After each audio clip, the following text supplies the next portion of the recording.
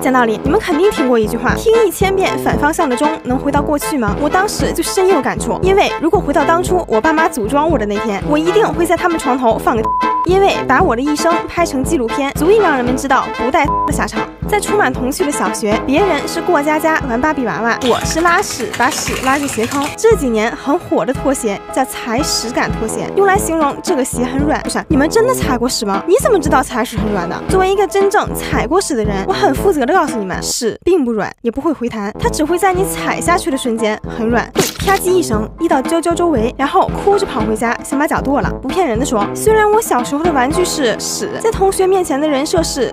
看片女，但我对自己的未来还是充满憧憬的。早晚有一天，我会凭借自己的努力，让他们刮目相看。但我一个从小打四三九九都开无敌版的人，能有什么抗挫折能力呢？自打上班之后，我人生中最快乐的事情就是下班之后回家看小小说、小漫画。小时候的我对霸道总裁龙傲天不屑一顾，现在的我不够爽不看，不够甜不看。毕竟我的生活已经很苦了，不能看也要看这么苦的吧？其实不只是看，我还可以用离谱 APP 自己磕 CP，打开 APP。可以根据自己的喜好选择角色盾图，比如我要看火影人物出现在霸道女总裁世界，打开 APP 选择双人盾图和人物，设定角色的表情、动作、场景。雏田霸道的抱住鸣人，轻声说：“男人别想离开我的视线，哪怕一秒。”还可以自定义风格，用宫崎骏的画风展现它。盾图后分享到理想国社区，向大家展示自己的想法。找到共鸣符号，如果晚上突然出现一条工作消息，我还能打开 APP 生产表情。情包功能炖出一套奇异卡哇工作表情包系列。说实话，我之前一直以为情绪稳定是一个好品质，直到我看到了情绪稳定可能是倒霉惯了导致的。上周我打车的时候，司机一直在前面说话，一开始我以为是和我说的，那一刻我深刻落实了事事有回应，件件有着落。哎哦，是啊，哎对对对，我也是这个。对话五分钟，司机跟我说不好意思啊，我刚跟我闺女打电话呢。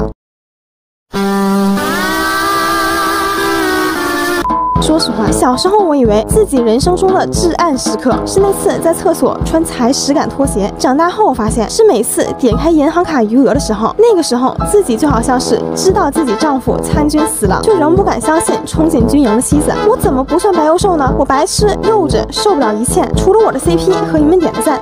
现在点击按钮下载离谱 APP。